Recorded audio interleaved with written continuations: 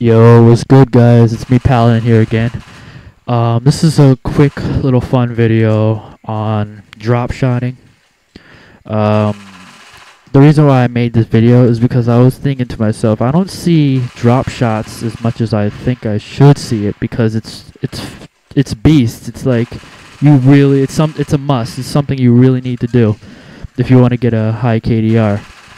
Um, for those noobs out there that doesn't know what the fuck drop shotting is, basically it's shooting while dropping.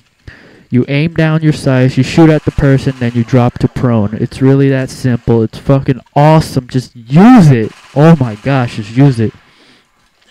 I don't know why. I don't I I really don't see it as much as I think I should see it, I guess. I don't know. I really don't see it.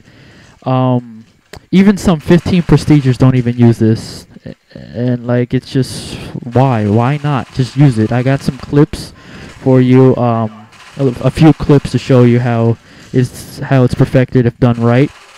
And it's really it's beautiful. It's awesome. And it looks especially when you get somebody in this clip right here if you kill somebody in um second chance.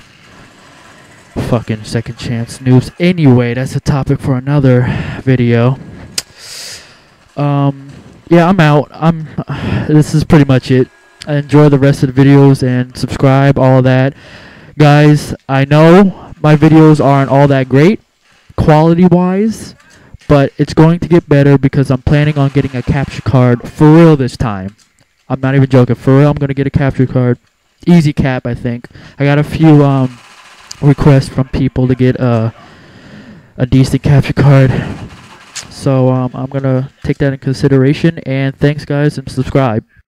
This is Mugen King 48. King 48. Thanks for tuning in.